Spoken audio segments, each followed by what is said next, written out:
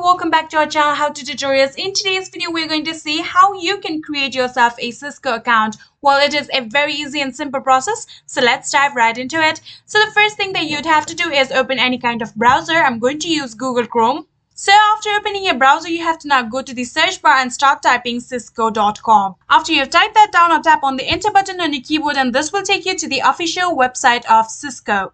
Here you can see this is the official website and in here you will be able to see the option of login on the top right here. Click on it and now this will take you to the login page of Cisco. And in here you can see this is the login page. You have to now click on the option don't have an account sign up.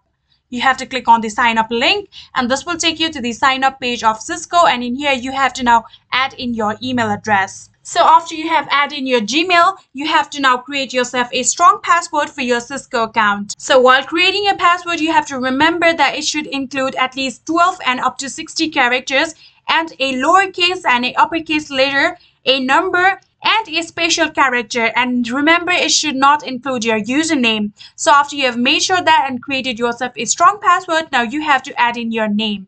Here you can see add in your first name first and after adding down your first name, you have to now add in your last name. And now you have to choose your country or region. After selecting your country or region, now you have to click on the option register.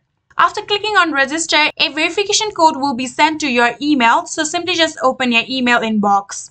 And in here you can see this is the mail that Cisco sent and this is your verification code. So simply just copy it and paste it back to the page.